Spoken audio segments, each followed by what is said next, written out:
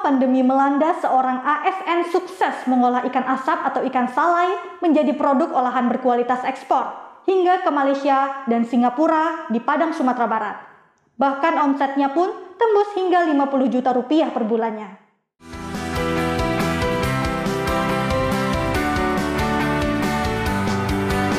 Memanfaatkan lahan satu hektar, Yose Rizal membuat kolam ikan patin dan lele mulai dari pembenihan hingga pembesaran di daerah Kotolua, Lubuk Minturun, Padang.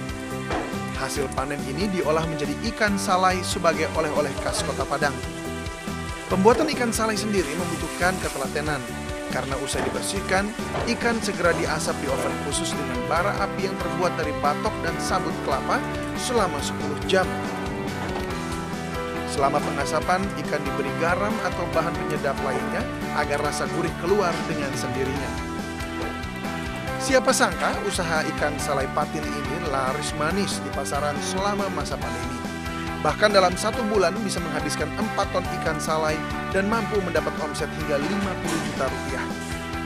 Pemasaran ikan asap patin ini pun sudah menembus pasar Malaysia dan Singapura. Pertama udah saya lihat ini udah udah oke nih, secara personal packagingnya bagus, yang kedua, saya lihat di outlet-outlet, di supermarket atau di tempat-tempat udah banyak nih tersebar nih. Artinya eh, pengetahuan orang atau pemahaman orang tentang ikan asam ini sudah sudah tersosialisasi dengan baik di masyarakat. Kalau masa pandemi ini uh, malah saya melihat tidak ada perubahan sebelum pandemi. Bahkan yang saya lihat saya hitung-hitungan saya itu malah ini meningkat. Buktinya kami hanya biasa produksi itu dua ton ikan basah. Sekarang empat bulan terakhir ini sudah empat ton ikan. Artinya ini signifikan sekali nih peningkatannya. Kenapa itu? Untuk harga ikan salai relatif terjangkau, berkisar Rp12.000 per 100 gramnya.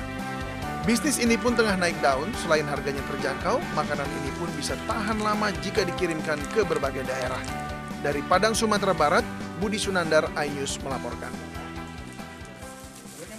Bu,